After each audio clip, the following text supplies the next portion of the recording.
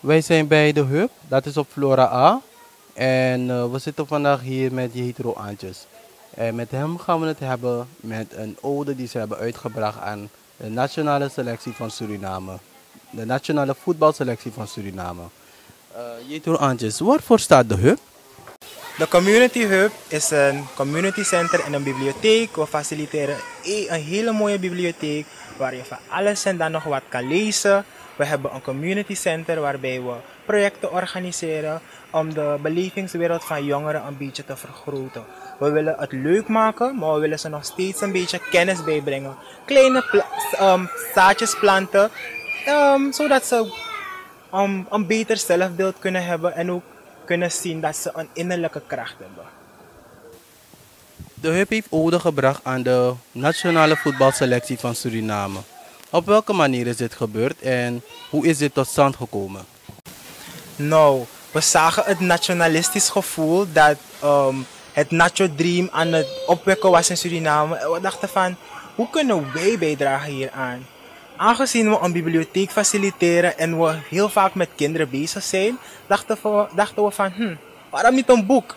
Dus zijn we dan een beetje met ideetjes rond gaan gooien. Toen kwamen we op uh, het concept van Dean, die een magische bal heeft. En toen hebben we heel avontuur geschreven. Hebben jullie dit boek verder overgedragen aan de SVB en wat is de reactie hierop, hierop geweest van de SVB? De launch van dit boek vond plaats in Orlando, Florida, toen het is overhandigd aan bondscoach Dean Gorey. En aan zijn gezicht konden we zien dat hij echt onder de indruk was. En vanaf toen begon die bal te rollen, begonnen we naar verschillende instanties om dit boek te sturen. En wie hebben allemaal hierbij geholpen om dit boek tot stand te brengen?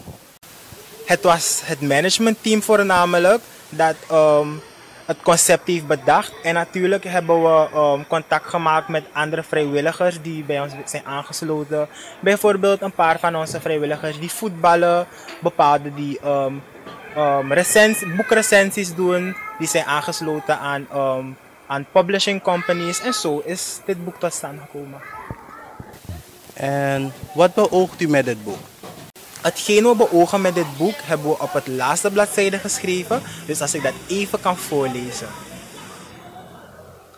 Dean en de magische bal is geïnspireerd door de Nacho Dream van de Surinaamse voetbalbond, bondscoach Dean Gorey en zijn spelers. Met dit kinderboek willen wij van de Community Hub dezelfde passie opwekken in kinderen en helpen vastleggen dat dromen altijd blijven voortbestaan zolang je maar blijft geloven. Sranang abribi inacho.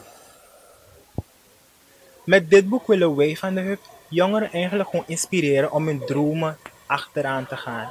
Zodat je maar één persoon hebt die er gelooft, al ben jij dat, kunnen je dromen uitkomen. Zij het sport, zij het um, investeren in je talent. Zodra je gelooft, kan het uitkomen.